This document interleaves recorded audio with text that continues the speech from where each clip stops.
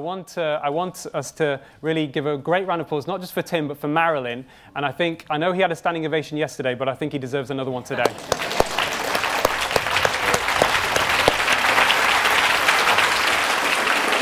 Thanks so much. John. Thank you.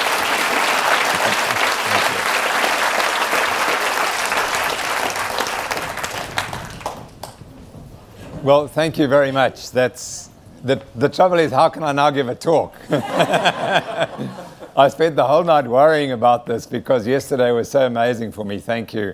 I thought anything I say is going to be, it's going to not going to live up to that. So anyway, let's hope I can do it. Uh, thank you again for everything. That it's really been very, very special. You might think that I'm welcome in my own country, but I've never had a reception like this ever in anywhere. So thank you. You know, I was listening as Aseem was talking, and, and I had to conclude this is the most important conference I've ever attended in my life. And I've been going to conferences for more than 42 years. And it, you don't underestimate how important it is that what you've heard. It is just incredibly important.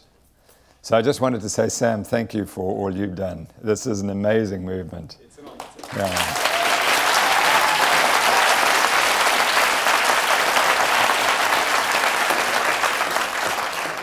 So I could spend hours thanking everyone, but I've already got a talk that's too long, so I better move on. so this is about the story behind my trial, and I want to thank Marika Sboros who's sitting here because she's the co-author.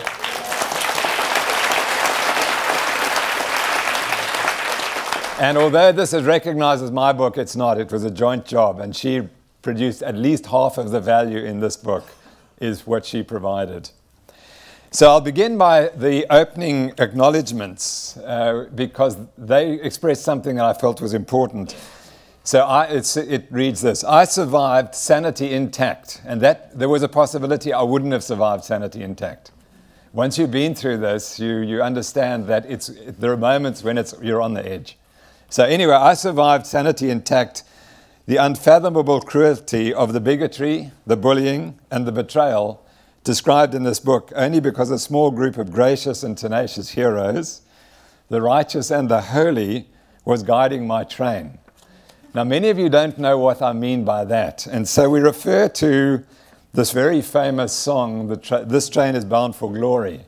And if you don't know the story, it is that during the, before the Civil War, there was still slavery in the United States. The Southern slaves could be transported to the north through a train of houses which existed, and so that they were 20 miles apart.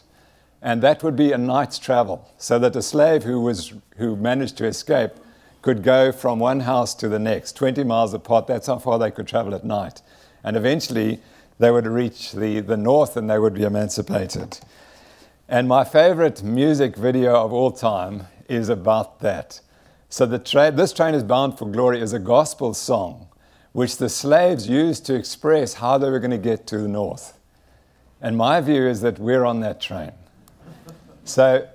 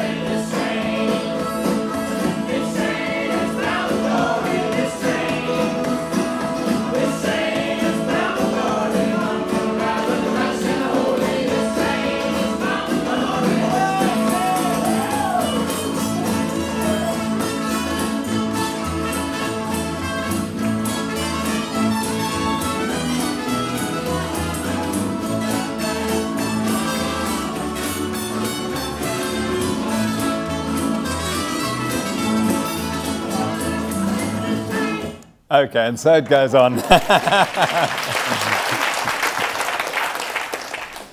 so, so the tweet that I have sent out that has received the most coverage is this one. And it says, this train don't carry no statinators, no sugar sleeves, no diet dictators.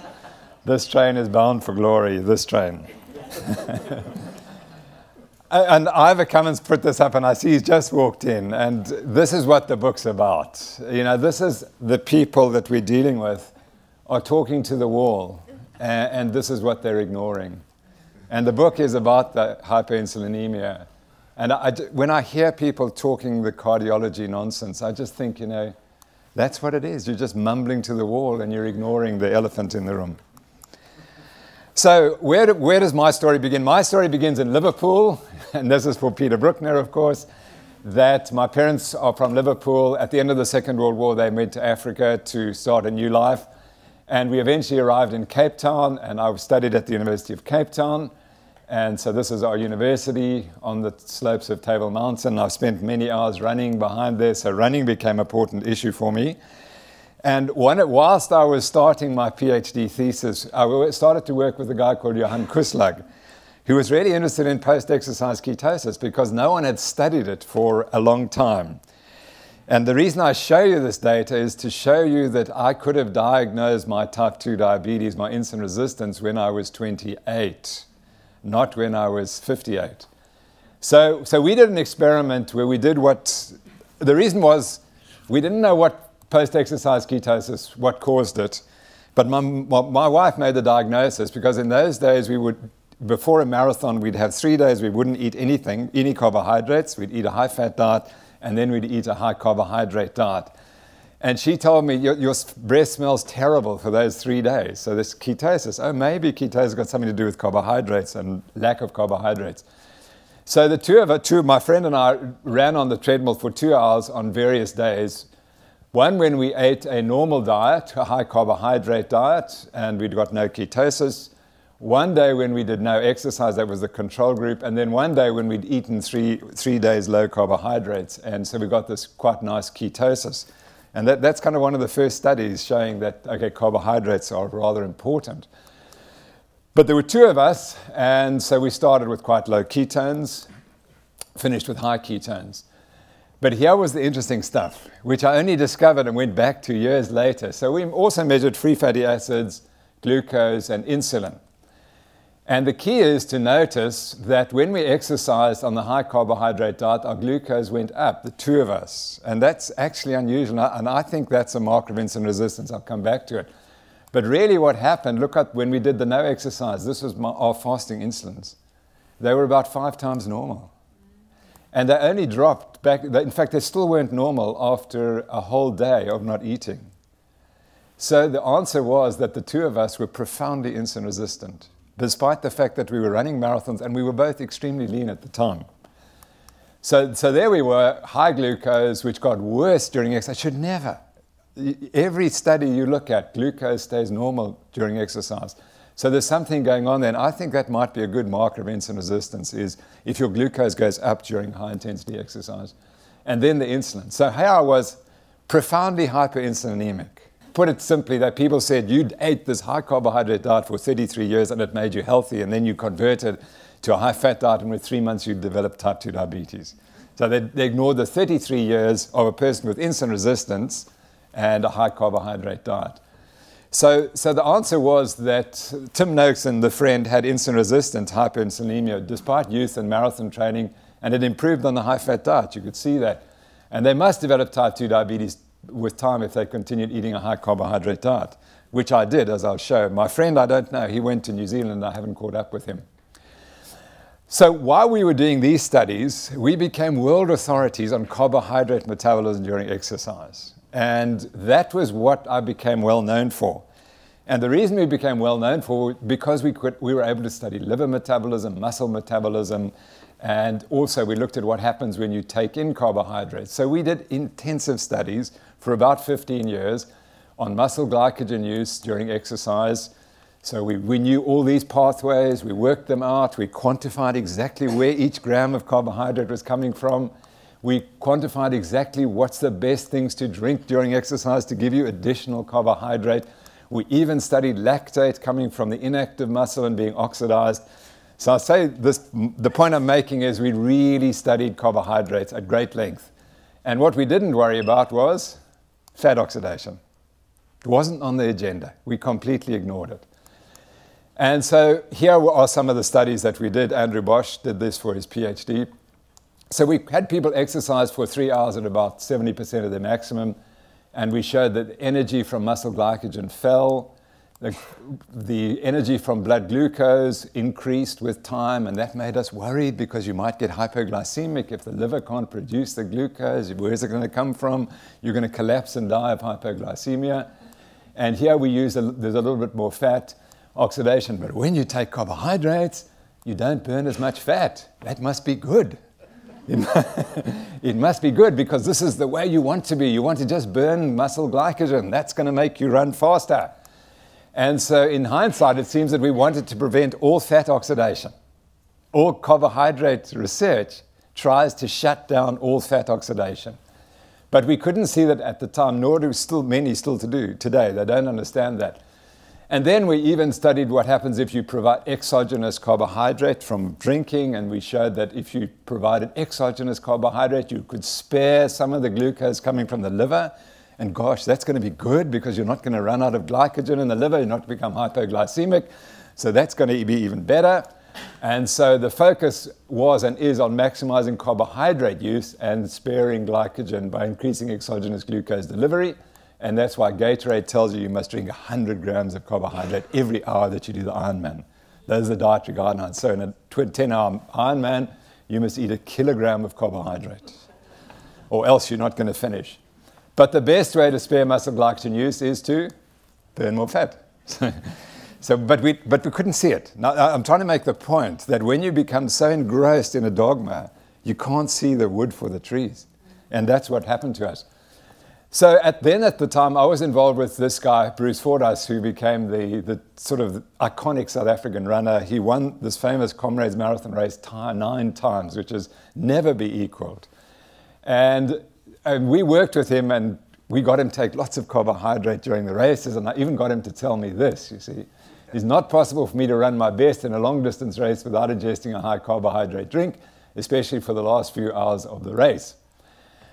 He has since converted to the high fat diet, and he said, Tim, you know, we made one error. if you'd put me on the high fat diet here, I would have won another 10 comrades. and why? Because he put on weight. He put on two kilograms, which is a 50, for a 50 kilogram guy, the two kilograms makes a difference. And we produced a product. The first energy goo in the world was produced by myself and Bruce. And it was called FRN. Here you are. There's Leppin Sport, Fordyce, Rose, Noakes. Squeezy is the original carbohydrate gel produce available to endurance athletes. This is someone else has written. So that's, so I apologize for, for doing that. so, so why were we wrong? Why were we wrong? Because we couldn't see the elephant in the room. And the elephant in the room is that. It's the fat. That's, we just ignored it. So, and you have to ask why? Well, because no one was selling products that that we could test. And it's very difficult to study fat metabolism. It's easy to study these. They're all, there are radio labeled traces that you can use, but the fat traces are very difficult to study. So we became experts on this because this was difficult and we just ignored it. It didn't matter. And this is the problem. This is the elephant in the room. That this is how much fat you have in the body, fat energy, and this is how much carbohydrate energy you have. So, you know, so how can you continue to ignore it? And which, which we did. So it's been estimated, uh, you all know this, that adipose tissue stores alone could supply sufficient energy for nearly four days of running compared to less than two hours using only muscle glycogen. And there are many athletes around the world who are now running the Ironman or doing 100 mile races without eating at all. And it's obvious. Once you get your fat oxidation rates up, you, can, you don't need carbohydrate at all. So, so I apologize for 33 years. I was completely wrong and didn't see the elephant in the room. So I understand it now. And what the other elephant in the room was that the great athletes in that we after the war, uh, right up to the 1969s, were not eating high carbohydrate diets. And you just ask them, and they'll tell you that Jim Peters, probably the greatest marathoner of all time, an Englishman, uh, who, say, who lowered the world marathon time by about seven minutes over three years. It's just astonishing. No one has ever touched that. So he wrote, We were still rationed for meat and none extra could be obtained. At the time of the 1948 Olympics, we were given extra meat and also received food parcels from overseas. But by the 1952 Olympics, we weren't so lucky. People had forgotten about Britain and they weren't going to supply food to the poor, the British who were starving. The only thing that could be done was to try to make up with extra bread and potatoes, which is probably not the best food on which to run over 100 miles a week in training. So, how can the greatest runner of all time at that time say this, but yet we were trying to force people to eat carbohydrates? So this really began to change, by Steve Phinney uh, started to change this in 1984 when he published this paper. And this was the first modern study of fat adaptation and he put five people on a high fat diet for four weeks. And this is what he found. He showed that this is the exercise performance before minutes to exhaustion at 65% VO2 It's not a great test, but anyway, it's good enough. And what he found was that for two people, the results dramatically increased. And for two people, they dramatically worsened, and one was pretty much the same, which is really interesting because of the individual variability in the response. And so he probably might have concluded that for some people it's really beneficial, for others it's actually horrible, and for some people it's kind of neutral. But he concluded that four weeks of adaptation to the ketogenic diet resulted in no change in endurance performance. What really influenced him was his father had a massive library, and in his father's library, he found this book, The Long Arctic Search. And these guys went to look for the Franklin expedition that got lost looking for the Northwest Passage. And it's one of the great tragedies that these people just got lost and they, they found them. Eventually, these guys found them. So the author, here's the author talking to the local, the Inuit, who, who helped them and fed them while they were looking for these, these ships. And this is what, he, what Steve Phinney had read in the book. When first thrown wholly upon a diet of reindeer meat, it seems inadequate to properly nourish the system, and there is an apparent weakness and inability to perform severe, exerting, fatiguing journeys. But this spoon passes away in the course of two or three weeks. So that was why he thought, yeah, most of the studies have been too short duration, but if we do a longer study, we may find that fat adaptation works. And that influenced us. So now here we are promoting carbohydrates, telling Bruce he can't win the comrades unless he eats lots of carbohydrate. But behind the scenes, we're doing studies of high fat diets. So I only look back now and think, well, what were you thinking?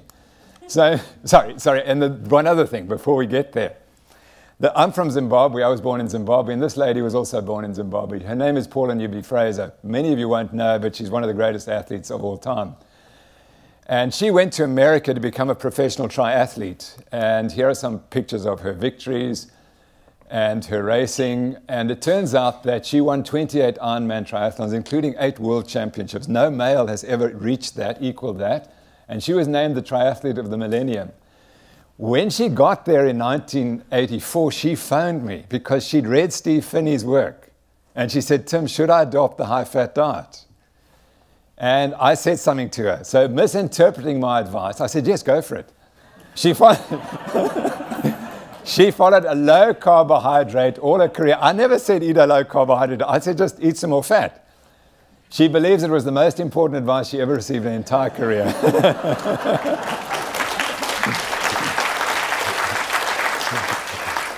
And she said, You can't change the Ironman on pasta and salads.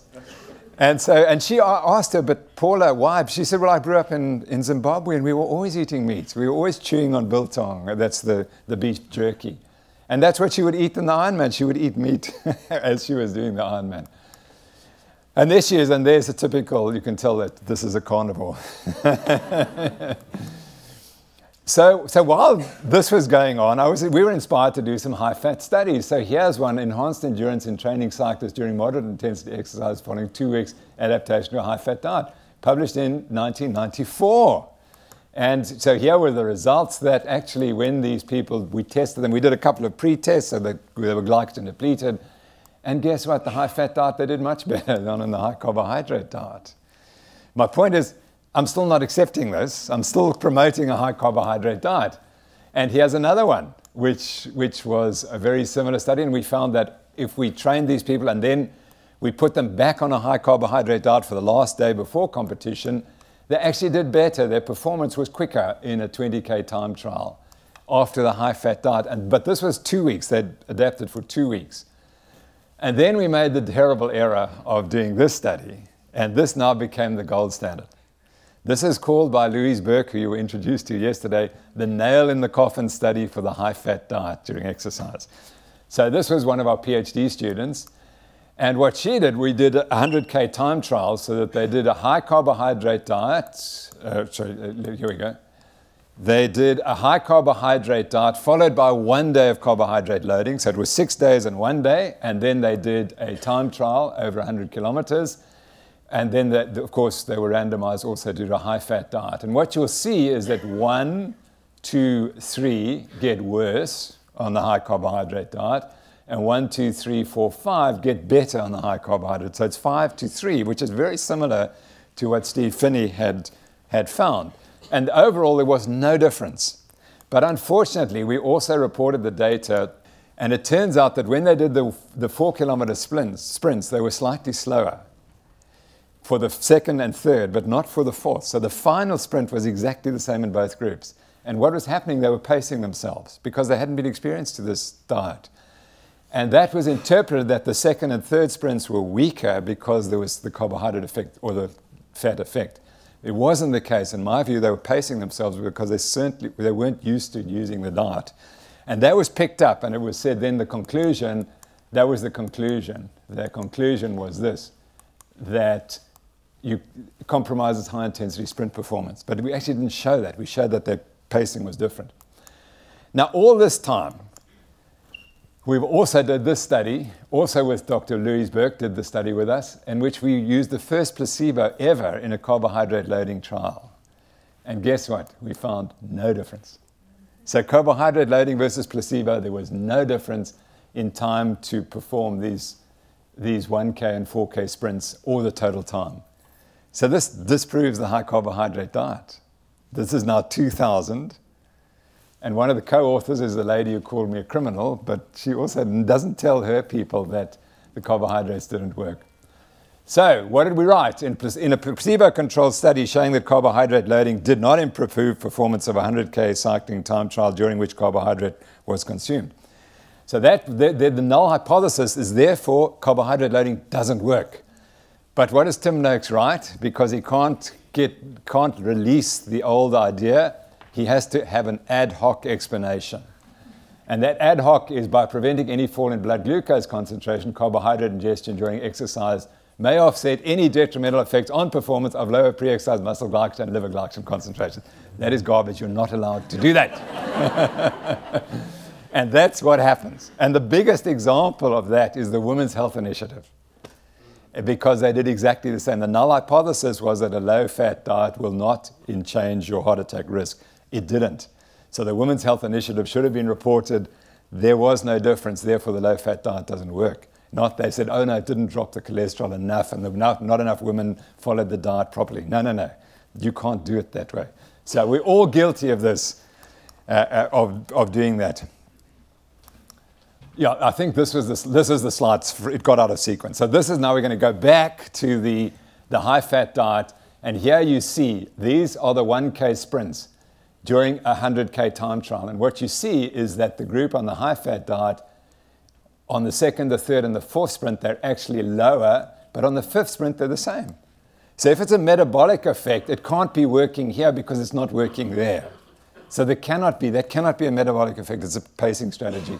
And when they did 1K sprints, they were fine. Or, yeah, that's, uh, these, sorry, these are 4K sprints, they were the same.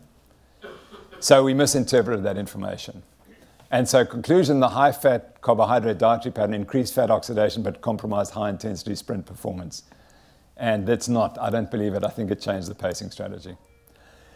So, this is in the background. And during this time, I'm writing this book. In 1986, I write it. This is 2002. And so, despite all that I've shown you, please understand that what I've shown you, what do I conclude? I conclude athletes must be advised to eat high carbohydrate diets. And why? Because I was being funded by industry. And that's, that's why you conclude that. And it, you don't think it affects you, but it does. Because the only thing you're worried about is, am I going to have money for next year? That's, that's what it becomes. And you, I, I, don't say that that's not true, because obviously you're looking for the truth. But you, you're always behind the scene, you're believing this thing works, because it has to, because that's where the funding comes from. So it's very subtle, and people don't do it because they think they're cheating. They don't actively do it, it just happens that way. So this interpretation forms the central pillar of the profession of sports nutrition. It's high carbohydrate diets and are now considered ideal for both health and sport. That is 2002. Now, following my own advice, I developed type 2 diabetes despite running 70 marathons and ultra marathons. And so what happened next was that I started to question a few things. So here's a picture of me graduating with my MD in 1981. On my, that's my mother, obviously, and that's my father. And they're very proud because they gave me the opportunity to go to university, which they did not have. And these are two very special people, obviously. Excuse me, I get a bit emotional. My dad is 68, I'm 68 today. He had just been diagnosed with type 2 diabetes. 10 years later, he was dead. And he had the worst death possible because that's the diabetes death. He'd had strokes and he lost both his legs. And it was just, he could not speak to me when he died. So now at 68, uh, I've, I've actually had diabetes diagnosis for eight years, so am I going to die in two years' time? That was the question I faced actually when I made the diagnosis. Was I going to last 10 years and die like him or not? And so I had to think about doing differently. Now, this was the advice my dad was given. And I don't blame this lady at all because she's a personal friend. But this was, this was a book that was available to him that she wrote, funded by, yeah, yeah, SA Sugar Association. And nowadays, the diet recommended for diabetics is high in complex carbohydrates and low in fat. So that was the advice he was given. And the point is, I know now that that, diet, that advice killed him. That's the key. Diabetes, you don't die of diabetes, you die of the treatment, you die of the management of the disease. And that's the crucial point. And so then this, we fast forward to South Africa 2014, and this is the advice that's being given. Carbohydrates are an important source of energy in the body, and glucose, which is the product of the digestion of carbohydrates, is the only source. I mean, it's just, this is simply wrong. But, and why is it wrong? Because in diabetes, you have hyperglycemia. You've got too much glucose. So why should you be worrying about glucose being too low? It is nonsensical. And my point is, my father did not die from hyperglycemia. He died from disseminated arterial disease. And that is what type 2 diabetes is. You have to address the disseminated arterial disease. So I was fortunate that on December the 12th, and I can remember the date, 20, December the 12th, 2010, this book appeared in my life. And it came up on my screen on the emails, and I was so angry because here's Steve Phinney, the guy who did the high fat diet, and he was a great scientist, and now he's sold out to Atkins. And I was so angry, I rushed down to the store and I bought the book.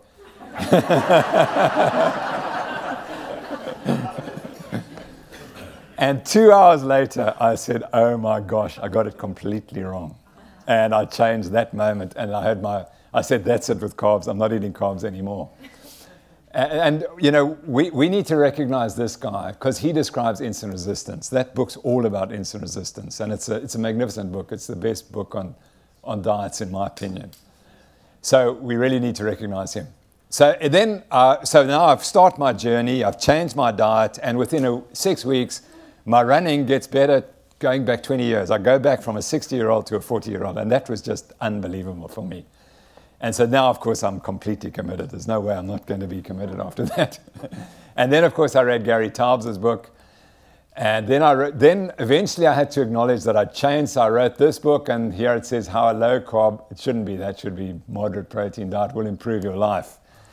So this was the, the book I wrote. And now this then, course, started the problems for me because the cardiologist read this, and I said that statins are not the treatment for heart disease, etc.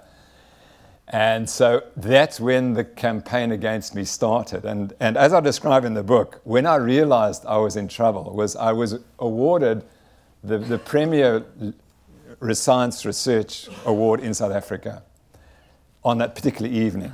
And within 30, within about two minutes of receiving the award, my cell phone rings. And it's from the newspaper. And they say they've got a letter in the newspaper criticizing me for what I've written in this book. It's clear it was timed because in the next morning's paper, it didn't say Tim Noakes awarded the best, the senior award in science. It was about Tim Noakes attacking being wrong and the cardiologist telling him he's wrong. It was clearly coordinated, so that that was the start. So anyway, that was the beginning. And then I wrote this article because now people were writing to me. And they were telling me these stories, and I was getting these unbelievable stories about people reversing diabetes and other conditions. So I described 127 cases. And within a week of this being published, I got a letter from my ethics board at the university saying you didn't get ethical clearance to publish this paper. They wanted to withdraw it because it was so threatening, because it, there it is. I think we, we said here a randomized controlled clinical trial is urgently required to disprove the hypothesis that the low carb eating can reverse case of type 2 diabetes, metabolic syndrome, and hypertension without pharmacotherapy. And they were so threatening. So this was now I in 2013. And then the next thing happened was these two guys came and spoke to me with the nutritionist and said, let's write a book. And the story was that David Grier is a runner, and he had run the length of the wall of China, the first person to do it with another person. And they'd reached Mongolia and they were in real trouble. They were wasting away and they didn't have any energy. And they were told by the Mongolians, you better eat pork fat or you're not going to finish. so they said, we're eating pork fat. And they ate pork fat for the rest of the run. And it's funny because he also ran the length of India, from, sorry, the, the depth of India. And of course, he was getting mainly carbohydrates. And eventually, he got so weak, he decided, I've got to eat chicken. So he decided, I'll eat a chicken a day. And as he started eating his chickens, his distance he traveled every day went up and he became much healthier. So these two guys said, let's write a book. And we wrote the book. It took five weeks to write it. And this then changed the whole nutrition landscape in South Africa because people started following the diet, losing the weight, getting all the benefits, and realizing that actually the dietitians couldn't help them. And so now this is a huge threat for the dietitians profession, and I'll show you what the consequences were. And the genius of the book is the green list, and this just is the list of the foods that you should eat, and that's, that's it. You know, the, the genius in the book is that one single page, which I didn't give, Sally Creed gave it. And uh, the, if you eat that diet, you, you're not going to get type 2 diabetes. Then, of course, I read, a, a, a, few months later, I read Nina Teicholz, and then I said, I can't believe this book. It's saying exactly what I've been believing, but could never really believe it was true. So, and there's, this is the final statement in her book. If you haven't read it, I'm sure you have. The advice that comes out of this book is that a higher fat diet is almost assuredly healthier than one low in fat and high in carbohydrates. The most rigorous science now supports this statement. And Aseem has given his article about the saturated fat, which came out in 2013. And this, his article plus that, convinced me that now we were on the right track. So then what next happens is the trial begins. And this is just to, this is one of the local newspapers. And this is October 19, 2016. So this was the end of my testimony. And at one point, apparently, I said that. and so let's go back now. We'll start the trial. So, why do I use Twitter? I use it for information sharing. And I think if you go to my site, you'll see that, that I, I, clear, I try to share all the latest information that I pick up from other people who are providing it.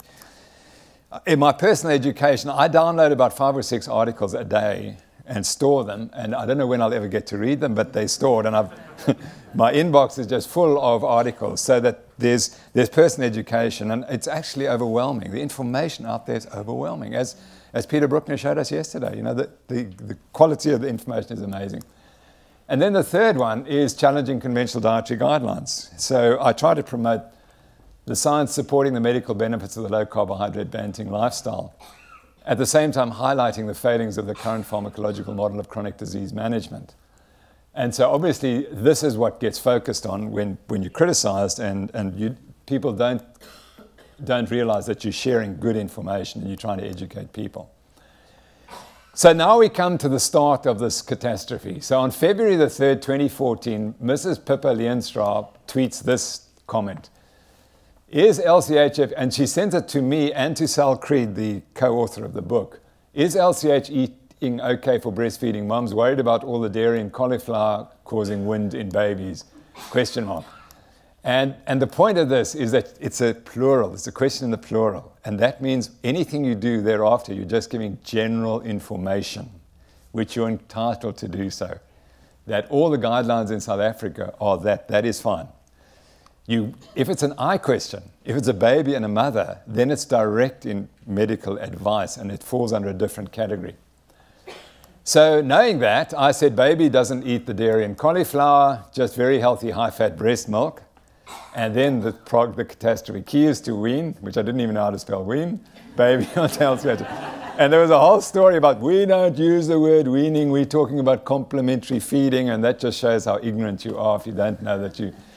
So, so then this is the problem. So I tweeted uh, on the afternoon of Wednesday, and the next morning, uh, this is sent to the Health Foundation, the Health Professional Council of South Africa, by this lady who's the head of the president of the Association of Dietetics in South Africa. And she says, To whom it may concern, I would like to file a complaint against Professor Tim Noakes. He is giving incorrect medical, and it should have medical something, but it doesn't. It's medical nutrition therapy, which incidentally is, would be using a ketogenic diet for epilepsy. And that wasn't what I was talking about. On Twitter, that is not evidence based. I've attached the tweet where Professor Noakes advises a breastfeeding mother to wean her baby onto low carbohydrate, high fat diet. I urge the HPCSA to please take urgent action against this type of conduct, misconduct, as Noakes is a celebrity. And the public does not have the knowledge to understand that the information he is advocating is not evidence based. It, especially dangerous, dangerous to give this advice for infants and can potentially be life threatening. I await your response. So they then, uh, then wrote to me and I responded, and eventually, as we'll describe, they decided to charge me. And so the charges fell under the biomedical ethical issues. I acted disgracefully because I abused the doctor patient relationship by offering medical advice on social media to a patient and her infant without first examining the healthy patient. And the second one, the biomedical biological issue, the medical advice I proffered was not only wrong, unconventional, i.e., not evidence based, but it was also dangerous although there was no ever, never any evidence or claim for harm. And of course, this was a circular argument in a sense because providing medical information on Twitter represents disgraceful conduct because it's not possible to examine the patient on Twitter. But it's not possible to examine the patient on Twitter, then it's not possible to have a doctor patient relationship on Twitter. But they kind of, what they eventually did in, as the, pro, the trial progressed, they said, no, no, no, no, we're not interested in a doctor patient relationship anymore, which was the basis of the charge. They said, no, no, no, you are tweeting to millions of people around the world and they're getting the wrong advice and it's very dangerous. You're going to kill patients. That became the charge. So they went away from it when they realized that there wasn't a doctor patient relationship. But the, the trial was so poorly constructed, this is the way they had to do it. So the, the charge meant if a, so if a patient wishes to form a doctor-patient relationship via Twitter, they simply ask for one's contact details. She didn't do that. And a lot of people do that, say, I'd like to consult you where, how can I contact you? Patients resort to Twitter to acquire information that will allow them to optimize their, the care that they receive from the medical profession. They're simply using a convenient platform to find medical information. They're not looking for medical care unless they specifically ask. That would be the argument. Now, so this was the basis of the charge, and then it went to this preliminary committee who had to decide now do they charge me or not? And what they are meant to do is they are meant to gather all the information on the, the prosecution side. They gather all your information, and you are allowed to come before them and say, listen, this is what the story is. I was never given that right, which is completely against the, the Constitution of South Africa. My constitutional rights were invaded by that. I was not given the constitutional right. And these were the, the people, I'll call them people, who decided to charge me. And I, this guy was my professor at university. This girl was at school with my sister. And they still didn't ask me for anything. And you ask why? Well, they represented the South African Medical Association who'd taken a position against me. So they were just spokespersons for that. And the question was have they ever been on Twitter? Do they understand Twitter? Well, there's no evidence that any of them has ever been on Twitter. They haven't a clue what Twitter's about. And they're trying to judge a thing like, like this. So there was no evidence. So the problems for the Health Professional Council was I answered a we question. And here's an article written in the South African Medical Journal by a lady writing about ethical and legal perspectives on the use of social media by health professionals in South Africa. This is written while the case is, is in, in court, because partly because they wanted to clarify. And what does she say?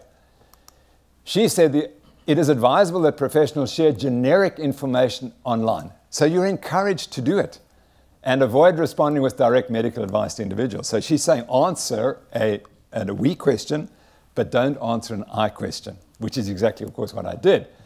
And then she said, as a standard precaution, it should be mandatory that any medical discussion professionals enter into on social platforms be accompanied by advice that patients must consult their practitioners. Well, of course, this is nonsensical because if they'd consulted their professionals, uh, they had faith in the professional, they wouldn't write to you. So, so that's nonsensical. And she also doesn't really understand the nature of Twitter. But anyway, that, so I responded with a letter in the South African Medical Journal. This is not really to do with the trial, but it's just kind of to, to, to lay the ground. And, and I made the point, this is the distinction, is the difference between responding to an I or a we question. The question I answered was a we question seeking generic medical information, which of course she agrees was acceptable. Any doctor willfully attempting to enter a doctor-patient relationship on Twitter, you must very likely act unprofessionally since there's a high probability the act of treating a patient on Twitter will involve supersession. As soon as you do that, you are probably going to supersede someone. This is because patients resorting to Twitter are not actually seeking medical care, so they have no reason to address any requests to their professional caregivers. And the whole irony of the trial was that the lady who reported me immediately wrote to Pippa Leenstra and said, Consult me, I will give you advice. So she superseded me and she gave medical advice on Twitter. So she broke all the rules that she was accusing me of breaking. And there was another dietitian who did exactly the same. So that was the first problem. The second problem, there was no doctor patient relationship. And we established that in the trial, that there was none. And the, the telling point uh, in the, we've had a, an appeal quite recently, was the magistrate hearing the appeal, came, he went through all the tweets, and the final tweet from Leenstra says, I'm confused by all this information. He said, There you are. She was just looking for information, she wasn't looking for medical advice. So he then realized, I hope, because he hasn't given his final decision, I hope he realized that there was no doctor patient relationship. Then Dan Ncayiyana, who's the president of the South African Medical Association, a great friend of mine, he wrote this editorial, which in another publication the South African Medical Journal, saying, Today, medical advice outlets are ubiquitous all across the globe via both print and electronic media. But it's never been suggested that Dr. Oz has a doctor patient relationship with his viewers. Nor has such a relationship ever been purported to exist in relation to any other medical media advisors on platforms such as Twitter, Facebook, TV, or radio. And he said, What was all the kerfuffle about? I don't know if you know what that term, what's all the nonsense about. So, why was I treated differently? And is it to set an historical precedent? I, that became one of the real questions for us. So there was no doctor patient relationship. The, the, and then the final, well, not the final, but the really important point the information I provided is entirely compatible with South African and international guidelines for complementary feeding of infants, which had been drawn up by the individuals who were trying to prosecute me, by the very witnesses across the thing. So, so let's look at that. Here we go. This was suitable complementary foods. Meat, poultry, fish, and eggs should be eaten daily or as often as possible. That's exactly what I said. And she was an expert witness for the prosecution against me. and then this is Adsa, who also had been in the prosecution. Foods from animals should be eaten daily or as often as possible to meet protein and iron needs. So that's Adsa, who are also prosecuting me. And then this dear lady, Esty Vorster, who, who was now, she, wrote, she was this, the principal prosecution witness. She drove the whole case for the prosecution. So, what are her guidelines? From six months of age, give your child meat, chicken, fish, or egg every day or as often as possible. so, we, did, we detail the stories about Dr. Vorster in the book and, and yeah, how she was, her, her, within five minutes, my legal team had completely destroyed her credibility because they showed that she was not trained as a dietitian. She'd never given dietary advice. She knew nothing about ethics, although she was presenting herself as an ethics expert, and she'd never done a low carbohydrate diet ever. She'd never done studies on low carbohydrate diets. So Rocky Ramdass, who you'll meet in a second or two, so he said, well, why are you here then if you've got no expertise? and I, I, said this, on, I said this on, on, when I was being interviewed yesterday. There's, there's a word in South Africa which is kind of a bit like the F word, but it's called sis. You see, is that's completely dismissive. So the only word she said to me in the 28 days of the trial was sis. and that was after she came off the, off the stand having been interrogated by Dr. Dr. Rocky Ramdass, she said to me, sis, and walked away, and that was it. so, there she is. oh, sorry, by the way, sorry, sorry, sorry. She funded by SA Sugar, funded by Nestle, and she was also the president of ILSI, the International Life Sciences Institute in South Africa, which is a Coca Cola front. Yeah. So, and there, look here, this is what the book says. This is what you should be eating. This is exactly what dear old Hesty uh, had said you should be eating. No one suffered any harm. Miss, Mrs. Leenstra didn't follow the advice, nor did she lay the complaint. So the, the lady who wrote the, the letter or the email, she said, I would never follow that advice. It was so stupid. I would never consider putting my son on that diet. And so here she is, and it's in Afrikaans, and she says, I don't give a damn for this trial. That's what she said. I don't feel a feather. I don't feel anything about it. And here's her son, who might have been on the Banting diet, and I think he'd look healthier if he had been on the Banting diet.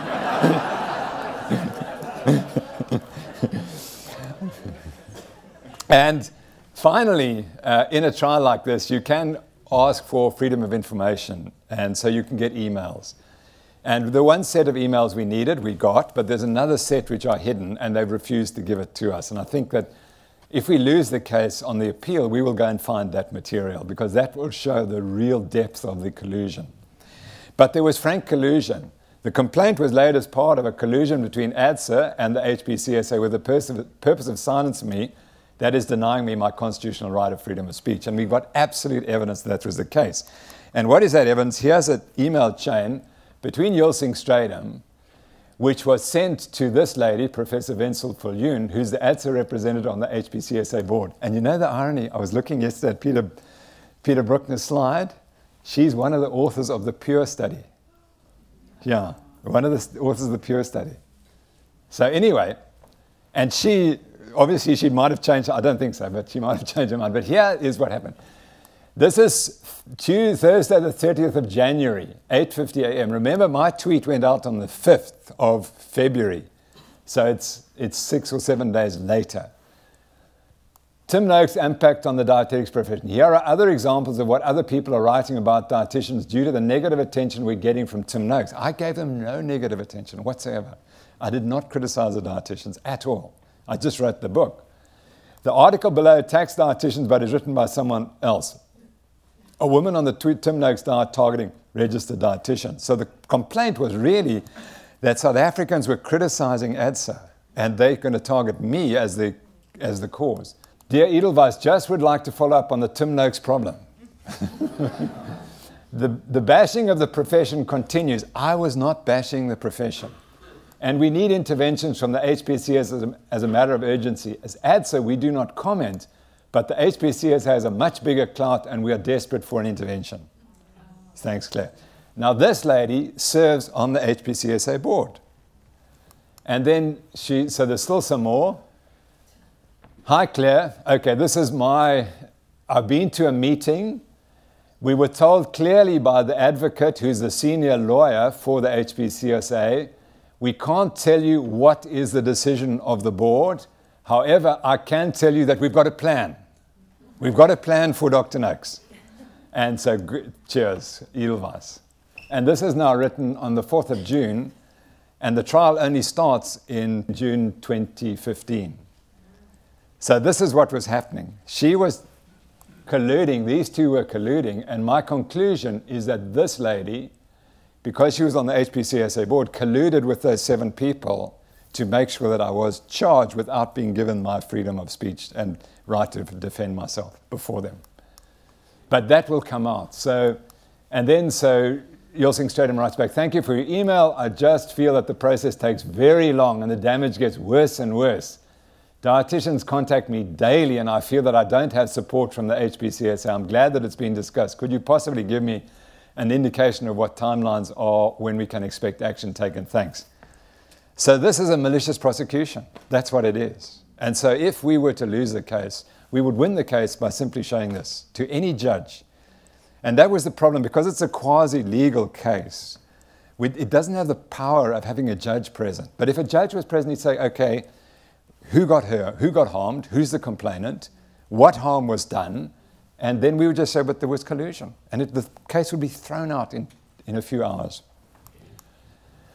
So in the end of the trials lasted more than four years and cost an estimated one million pounds. Yeah, unfortunately not to me, because my two lawyers gave their time for free. But perhaps its great legacy will have brought the LCHF diet to an even larger global audience. And so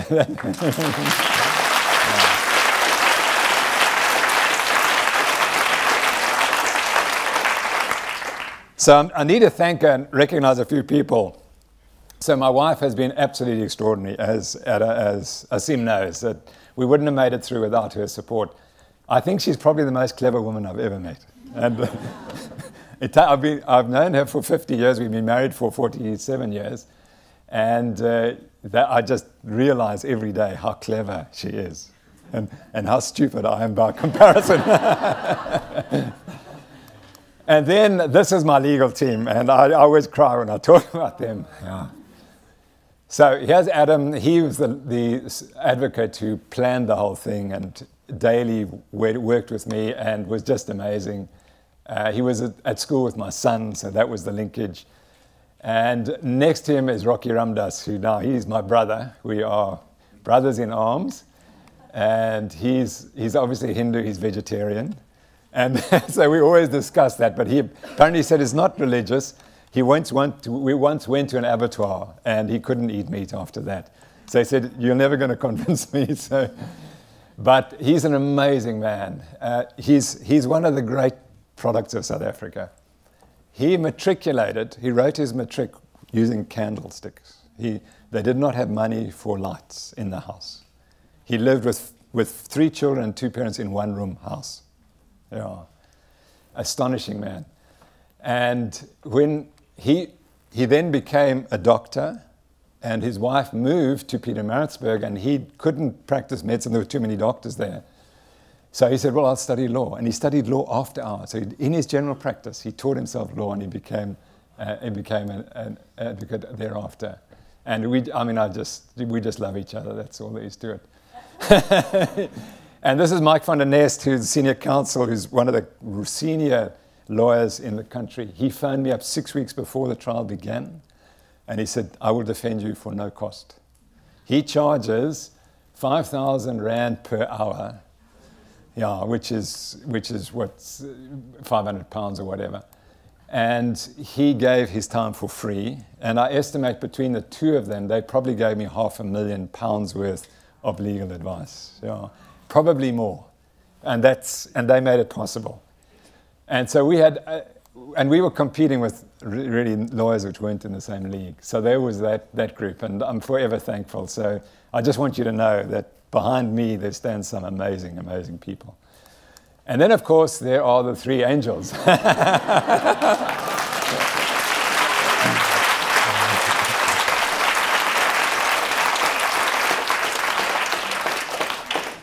So you all know Zoe, and uh, she just destroyed the prosecution's lawyer. He just didn't have a clue where he was coming from. she presented her PhD thesis over about a day, and he tried to cross-examine her, and, but just got, got nowhere. You know Nina Teicholz, of course, and uh, it was even funnier with her because when she finished, he said, are you enjoying your stay in Cape Town? So she said, yes. So she said, well, I hope you'll enjoy the next few days you're here. He didn't ask her one question because he was full. And, and, this is a lady, uh, Caryn Zinn, who's now in New Zealand. She was a, a UCT graduate in dietetics who I had trained.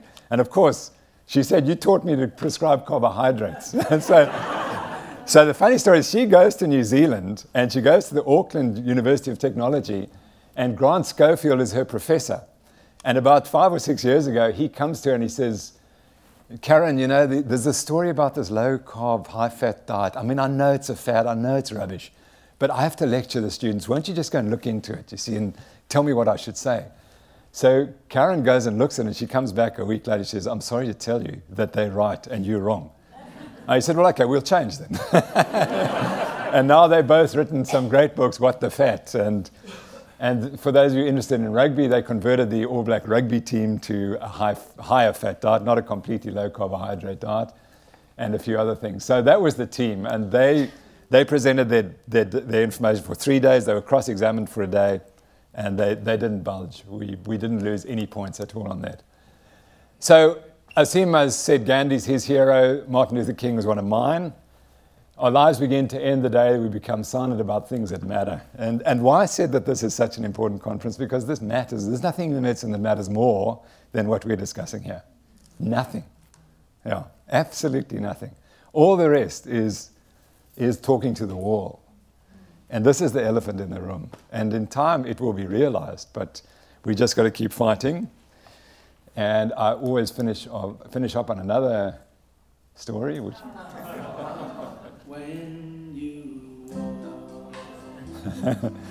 so it's for Peter and for all of us from Liverpool and all of us from England.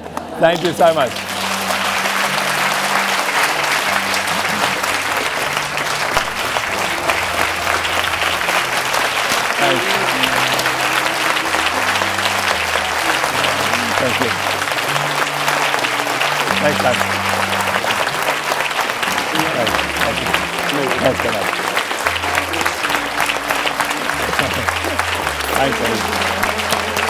Thanks, Dave.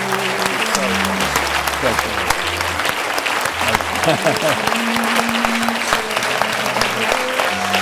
stop.